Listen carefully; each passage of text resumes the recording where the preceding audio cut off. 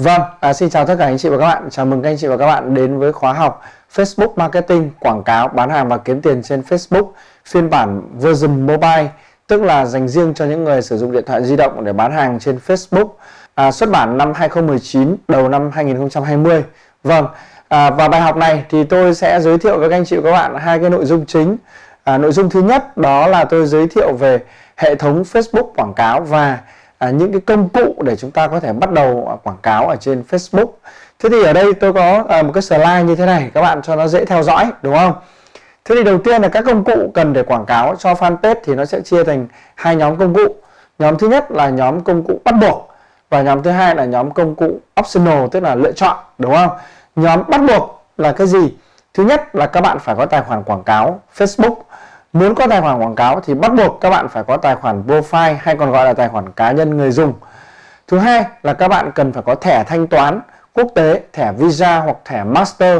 Các bạn ra ngân hàng nói với họ làm cái thẻ Visa và thẻ Master Debit hoặc là Credit, tức là thẻ ghi nợ hoặc là thẻ tín dụng. Nhưng mà nhãn hiệu phải là Visa hoặc là Master. À, các bạn hãy chọn những cái ngân hàng mà làm nó lâu lâu một chút, tránh làm những ngân hàng thẻ nó làm nhanh bởi vì những ngân hàng như vậy thường trên thị trường hiện nay đang bị cấm các cái đầu thẻ. À, chúng ta sẽ không đưa vào trong tài khoản được. Thường là bị từ chối. À, thẻ của chúng ta này không làm sao cả nhưng Facebook từ chối. Hãy nhớ điều đó. Đây là một cái lỗi mà Facebook rất là hay gặp phải. Rồi tiếp tục là cái công cụ tiếp theo là chúng ta phải có fanpage. À, cái fanpage trong cái video bài học trước thì tôi đã giới thiệu cho các anh chị và các bạn cái cách chúng ta hướng dẫn để tạo ra rồi đúng không? Chúng ta tạo ra một cái fanpage rất là đơn giản thôi gồm có tên à, gồm có ảnh bìa gồm có avatar gồm có các cái thông tin à, như là website giờ mở cửa rồi chủng loại các cái thông tin ở trên à, fanpage các cái hình ảnh làm sao cho nó đẹp.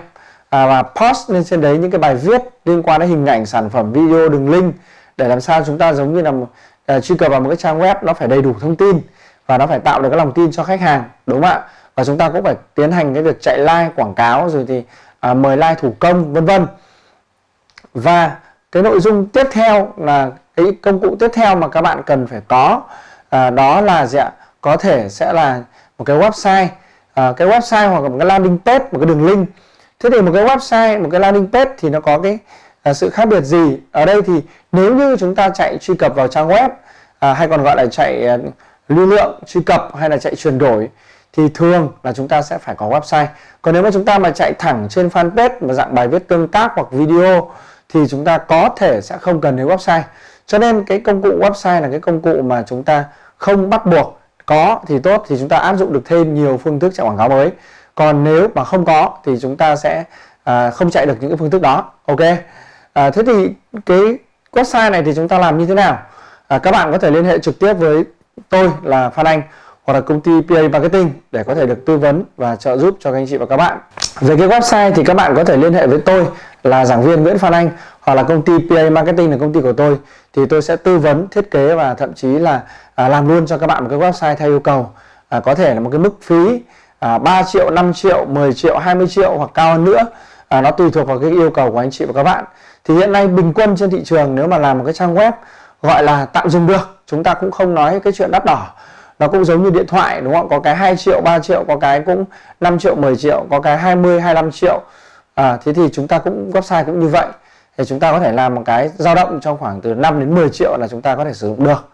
À, để chúng ta có thể đưa các hình ảnh sản phẩm lên trên đó đến áp dụng một cái à, chiến lược bán hàng đa kênh cũng rất là tốt và hỗ trợ cho Facebook marketing chạy remarketing marketing à, trên nền tảng Pixel gắn vào website. Một cái phần mà tôi vừa nói là hơi phức tạp. Thì các bạn sẽ xem cái video bài học sau đó. Thế thì tiếp tục đấy là chúng ta cũng có thể là có email marketing hoặc là email để chúng ta xác nhận đơn hàng với khách hàng à, chúng ta cũng có thể sử dụng một cái à, số tổng đài hotline 1900 hay 1800 nếu như mà chúng ta muốn tạo sự chuyên nghiệp hoặc là chúng ta có thể mua một cái số sim đẹp à, số tam hoa số tư quý à, chúng ta có thể sử dụng làm kinh doanh. Giống như là cái số của tôi thì tôi cũng dùng từ hồi sinh viên cũng 13 14 năm rồi chứ cũng không phải là mới nữa. Thì cái số của tôi là cái số tam hoa bây giờ các bạn mà gọi vào lúc nào cũng nghe máy. À đấy.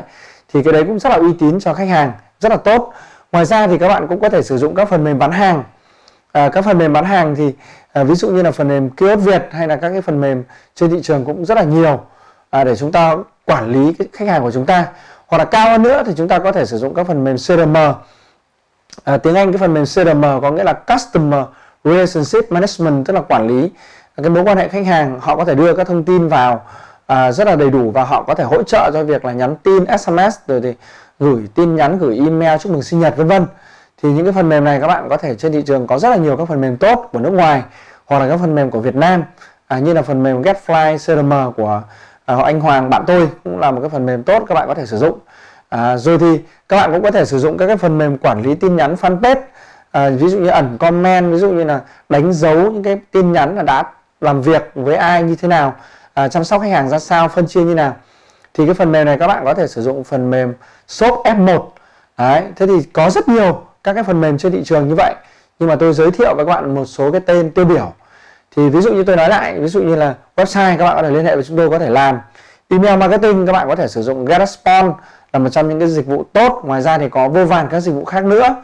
À, phần mềm bán hàng thì chúng ta có thể sử dụng phần mềm kiosk Việt hoặc là rất nhiều các phần mềm trên thị trường. Đó. À, phần mềm quản lý tin nhắn fanpage thì chúng ta có thể sử dụng phần mềm shop F1 à, phần mềm CRM thì chúng ta có thể sử dụng phần mềm à, GetFly đúng không? Thì những cái phần mềm này các bạn muốn mua thì các bạn có thể liên hệ với tôi.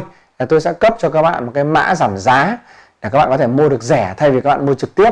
Cái này là tôi hỗ trợ các bạn thêm đúng không ạ? Và tôi có thể hướng dẫn cho các bạn cách sử dụng nó rất là tiện ích ok? Như vậy tôi vừa giới thiệu với các bạn cái nội dung thứ nhất là những cái công cụ để cần cho cái việc bán hàng trên Facebook bằng quảng cáo.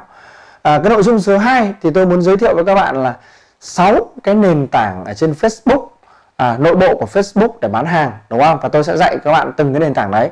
À, tôi có nói trong cái video vào trước thì bài học này tôi sẽ nói lại. À, chúng ta có thể bán hàng ở trên Facebook cá nhân hay còn gọi là Facebook profile đúng không? À, chúng ta có thể bán hàng trên Facebook fanpage đúng không? Chúng ta có thể bán hàng trên Facebook group đúng không ạ? Chúng ta có thể bán hàng trên Facebook livestream sử dụng cái tính năng livestream. Chúng ta có thể livestream trên Facebook cá nhân livestream trên uh, uh, fanpage chúng ta cũng có thể livestream à, trong những cái hội nhóm cũng rất là tốt. À tôi sẽ hướng dẫn nha các bạn đừng lo. Hôm nay cái học thống kê thì đã. À, có thể chạy quảng cáo. Vâng tôi cũng sẽ hướng dẫn các bạn rất là chi tiết về quảng cáo sử dụng à, điện thoại di động. Ở đây tôi đang có hai cái điện thoại di động đây để sẽ hướng dẫn cho các bạn. Đó. À, thì sáu cái cách thức như vậy là các bạn có thể bán hàng và chúng ta có thể sử dụng cả sáu cách như vậy. Chứ không phải chỉ có một cách duy nhất là chúng ta chạy quảng cáo. À rồi tôi cũng sẽ giới thiệu cho các bạn cái hình thức là à, một cái hình thức rất là tốt đấy là chúng ta có thể phát triển hệ thống những người bán hàng. À đấy ví dụ như là tôi có Facebook bạn có Facebook tất cả mọi người đều có Facebook nhưng bây giờ các bạn trở thành đại lý bán hàng của tôi thì cái mô hình như vậy tôi gọi đó là mô hình phát triển hệ thống đại lý những người bán hàng online. Thì đây là một cái phương thức cũng rất là hay thì tôi sẽ chia sẻ với các bạn một cái bài học. Ngoài ra thì tôi cũng có một cái khóa học riêng cho cái chủ đề đó thì các bạn có thể tìm hiểu thêm về cái khóa học là phát triển hệ thống đại lý bán hàng online à, dành riêng cho cái việc đó hướng dẫn chi tiết hơn. Đó ok như vậy chúng ta đã thấy cái nội dung số 2 là nội dung là liên quan đến 6 cái nền tảng của Facebook đúng không và thì tôi cũng sẽ uh, giới thiệu với các bạn là về Facebook quảng cáo năm 2019 À, tại thời điểm tôi ghi hình bây giờ là cuối tháng 9 và đầu tháng 10 năm 2019 và tính làm tròn thì có thể tính đến năm 2020 được cho phiên bản này. Thế thì ở đây các bạn thấy rằng là hệ thống quảng cáo của Facebook là một hệ thống quảng cáo rất là thông minh. À, người ta gọi đấy là hệ thống quảng cáo dựa trên profile người dùng.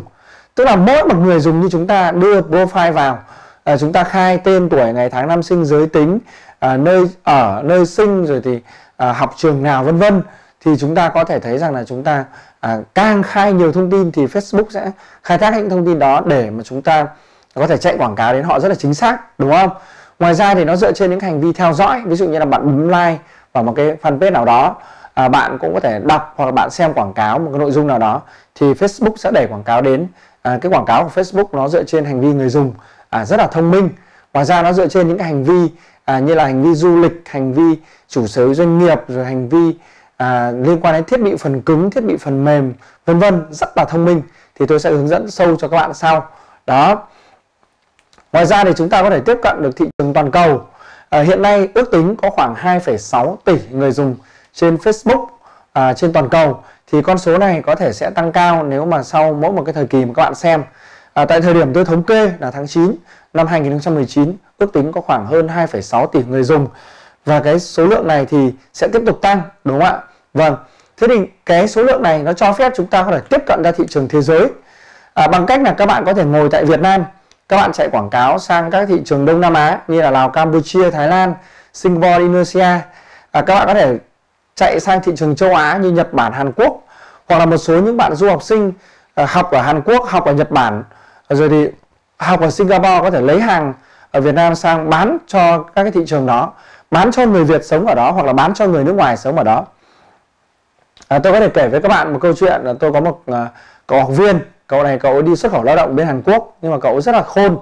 Đi xuất khẩu lao động thì lương được khoảng ba bốn mươi triệu tiền Việt một tháng thế hết thời kỳ một hai năm cậu ấy nghỉ cậu ấy đi ra ngoài cậu ấy gọi là trốn đấy đúng không ạ? Cậu ấy sang đấy thì bắt đầu cậu ấy mới à, nhập những cái hàng ở Việt Nam sang những cái thuốc đông y trị xoang trị viêm khớp này kia. Thế là cậu ấy chạy quảng cáo bán cho cái đối tượng là những người mà Việt Nam đang sống ở Hàn Quốc. Thì cái tỷ lệ này cũng khá là đông chạy quảng cáo bằng tiếng Việt luôn.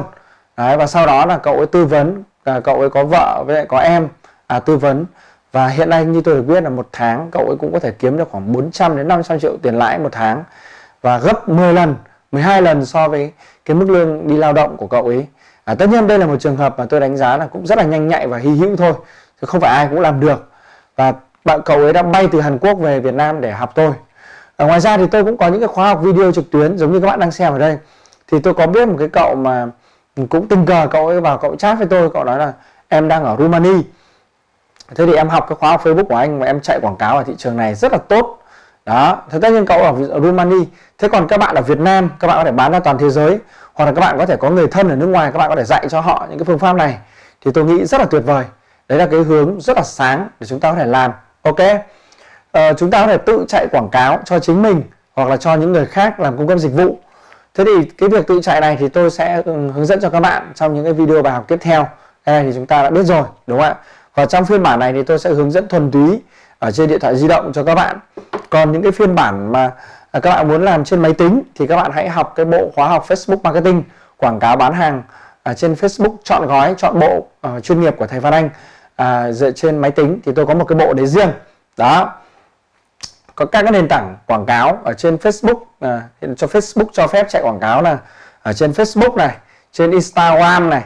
À, thế Instagram là cái gì? Là một cái ứng dụng mà à, chúng ta thấy là chúng ta à, vẫn hay chơi người ta gọi là mạng xã hội hình ảnh đúng không ạ? Đây tôi sẽ cho các bạn xem. Nó có cái biểu tượng hình cái máy ảnh như thế này. Đấy là Instagram. Và Instagram là một cái ứng dụng mà Facebook đã mua lại. Đấy, thuộc cái sở hữu của Facebook đúng không ạ? Vâng các bạn có thể nhìn thấy. Cái ờ, Instagram của tôi rất là ít chơi nên là tôi cũng thấy là toàn là người nước ngoài tôi cũng chẳng biết tại sao. Tôi bấm like cái gì đó. Đấy thì các bạn cũng có thể nhìn thấy quảng cáo của uh, Instagram ở đây đúng không ạ? Đấy. thì cái quảng cáo trên Instagram này cũng là do Facebook chạy đến đúng không ạ? Rất là hay. Uh, ngoài ra thì các bạn có thể chạy trên nền tảng WhatsApp uh, Audience Network và Facebook Messenger. Uh, tổng là có 5 cái nền tảng. Uh, chi phí quảng cáo thì bây giờ rất là đắt đỏ. Tiếp cận thì thấp uh, cùng với một số tiền chúng ta bỏ ra thì giá thầu đã cao lên và tiếp cận đã thấp đi cho nên quảng cáo đối với chúng ta hiện nay cũng rất là khó khăn. Tuy nhiên thì cũng có rất rất rất nhiều người đang rất là thành công à, bán hàng bằng quảng cáo được hàng trăm hàng nghìn đơn mỗi ngày. À, à, cũng có thể sử dụng phương pháp livestream bán hàng nghìn đơn mỗi ngày hàng trăm đơn mỗi ngày là chuyện đấy có thật. Bán trên trang cá nhân cứ đăng status đăng status là có người mua. Và bán trên hội nhóm cũng có người mua. Đấy, và làm fanpage để phát triển cộng đồng cũng có người mua. Đấy là những cái chiến lược khác nhau. Rồi các cái chính sách quảng cáo của Facebook bây giờ cũng rất là thắt chặt thí dụ như là phạt về tài khoản quảng cáo. À, thí dụ như là à, vi phạm chính sách hoặc là các hàng fake hàng nhái thì chúng ta cũng rất là khó chạy. À, rồi thì tài khoản quảng cáo rất, rất dễ bị chết cho nên là chúng ta cũng cần phải có cái chiến lược là chúng ta thường xuyên là tạo những cái tài khoản quảng cáo mới để chúng ta duy trì và phát triển cái việc à, kinh doanh của chúng ta. Được chưa thì tôi uh, chia sẻ với các bạn một số những cái nội dung như vậy để các bạn hình dung ra về cái quảng cáo Facebook Ads đúng không? Có rất nhiều người vẫn đang thành công kiếm được nhiều tiền như tôi đã nói. À, chiến lược thì nên áp dụng chiến lược đa nền tảng không nên phụ thuộc duy nhất vào quảng cáo Facebook. Quảng cáo Facebook là rất tốt đúng không ạ? Là rất thông minh là rất tuyệt vời. Nhưng chúng ta không nên phụ thuộc duy nhất vào một nguồn đó bởi vì chi phí quảng cáo ngày càng tăng và à, cái biên độ lợi nhuận của chúng ta càng ngày càng giảm. Thì tôi khuyên là các bạn nên đa nền tảng trên Facebook và đa kênh ngoài Facebook đa kênh ngoài Facebook là gì? Các bạn nên có website các bạn nên làm SEO web. À, website thì tôi sẽ làm cho. SEO web các bạn cũng học tôi tôi sẽ dạy cho đúng không ạ? Các bạn có thể sử dụng email marketing. Tôi cũng có khoa học về email marketing. Tôi cũng có khóa học về SEO web làm SEO thủ công. À, rất là là thành công. À, trang web pa marketing.vn, pa là tên tôi Phan Anh. pa marketing.vn của tôi hiện nay bình quân có 120.000 đến 150.000 truy cập mỗi tháng và điều đấy là do tôi viết bài và tôi làm SEO rất tốt. Thì tôi có thể chia sẻ với các bạn. Ngoài ra các bạn có thể sử dụng kênh Instagram kênh YouTube và kênh Zalo vân vân.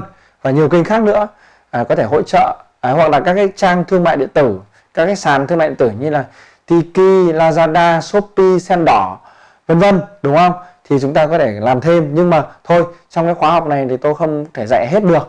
Tôi sẽ tập trung vào việc trên Facebook và trên phiên bản là mobile rõ ràng như vậy nha để hỗ trợ cho các anh chị và các bạn ok thì cái nội dung um, bài học này à, ngắn gọn đơn giản như vậy nói ba nội dung như vậy các bạn biết rồi nha thì chúng ta sẽ uh, sang cái nội dung bài học tiếp theo trong video uh, tiếp theo nếu có bất kỳ câu hỏi gì hoặc là khó hiểu quá hoặc là chưa làm được thì các bạn cứ chủ động liên hệ với tôi là giảng viên Nguyễn Phan Anh tại địa chỉ email phananhonline.gmail.com facebook.com sược Phan Anh Online. Xin cảm ơn. Xin chào và hẹn gặp lại các bạn.